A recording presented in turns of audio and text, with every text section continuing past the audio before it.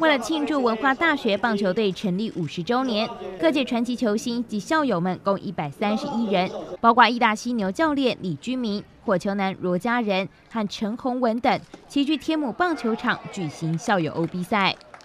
第一次参加这个 OB 的，我觉得还蛮有、还蛮有意义的，也蛮兴奋的。这样，因为毕竟很多同学学弟很久没有看过了，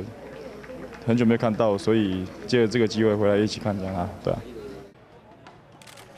文化大学棒球队五十周年庆祝大会以“学民一生，棒球文化”为主题，不仅让校友们传承交流，也让稍有年纪的球迷重温往日时光。